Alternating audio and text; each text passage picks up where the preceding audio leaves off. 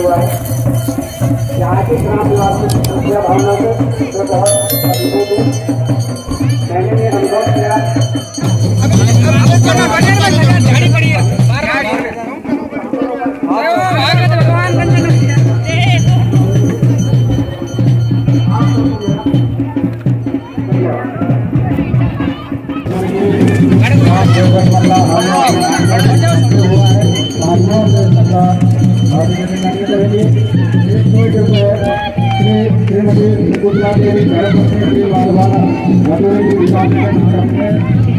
बहुत बहुत धन्यवाद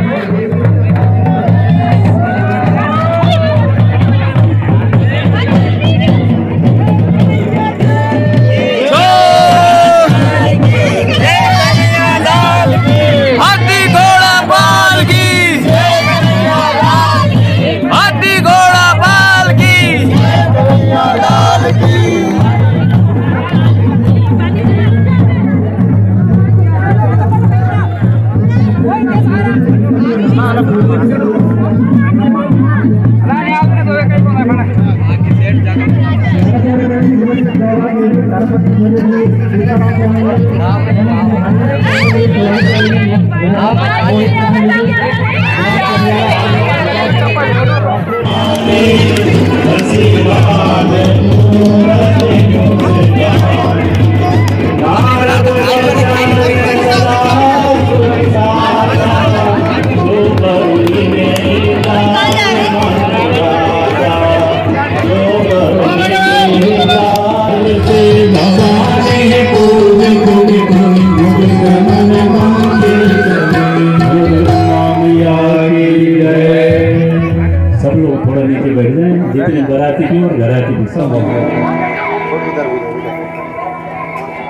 को रखो हाँ बोलिए रुक्मणी जी देवभक्त हैं हाँ जी प्रेम करते हैं कितना प्रेम करते हैं बहुत ज़्यादा तो फिर आपने भाग करके भी विवाह क्यों किया घर बताते प्रेम से करते चलो इसका जवाब हम भगवान जी से पूछेंगे दीजिए बोलिए भगवान जी आप तो जगतपति नारायण है। कलयुग वालों को तो बहाना चाहिए। प्रेम करते हैं। कितना प्रेम करते हो? बहुत ज़्यादा। तो फिर कलयुग के लोग तो यही सीखेंगे जो आप बता रहे हैं। तो सुनो वास्तविक व्यासपीठ से हम बताएँ। पहले रुक्मणी जी डालेंगे लेकिन अभी नहीं। एक जगह बारात हो रही थी तो बारात में सब लोग जाते, जैसे आप लोग भी आए तो एक दादाजी के साथ उनके नाती भी गए थे। तो बारात विदाई हो रही थी तो सब लोग रो रहे थे विदाई में, जो घराती थे।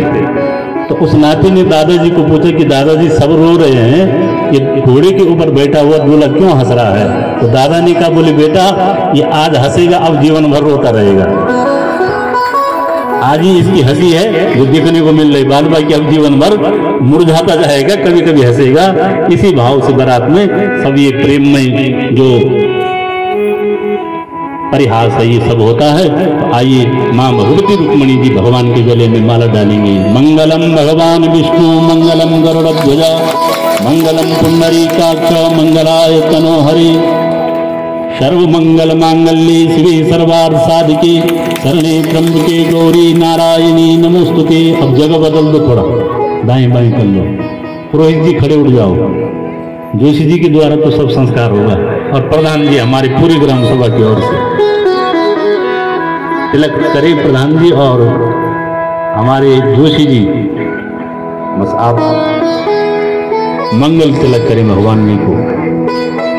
गंगा, सिंधु सरस्वती च यमुना, गोदावरी, नर्मदा, कावेरी, सरयू, महेंद्र तनया चरमणवती वैदिका क्षिप्रा वैत्रवती महासुर नदी, ख्याता, चया, गंडकी पूर्णा पूर्ण जले समुद्र सहिता कुर्वन्तु नो मंगलम। बोलो लक्ष्मी नारायण भगवान की। द्वारिकाधीश भगवान की। रुक्मणी मैया की। तो भगवती कृपा से Thank you.